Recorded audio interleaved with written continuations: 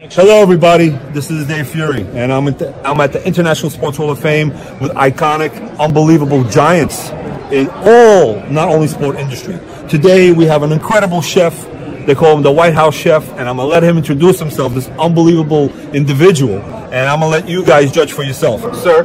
Sir, thank you. I am Chef Rush. They know me as Chef Rush. I do 2,222 push-ups a day, an hour and 15 minutes for suicide awareness prevention, spouses, kids. Uh, talk about health, nutrition, military, go around just positive energy, uh, holistic, and so many other different things you can think about. All right. Can we get a little bit of them biceps, sir?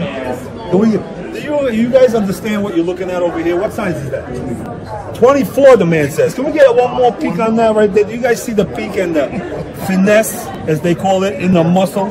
Okay, sir, you're truly an iconic figure. I'm truly grateful to be around you. I hope to see more of you. You and will. please help us stimulate and motivate the world. And that's what we all about. It's all about giving. You know right. that. That's Just right. what you do. Thank you, sir. God bless you, brother. Thank you again. Everybody. all will be back. Thank you.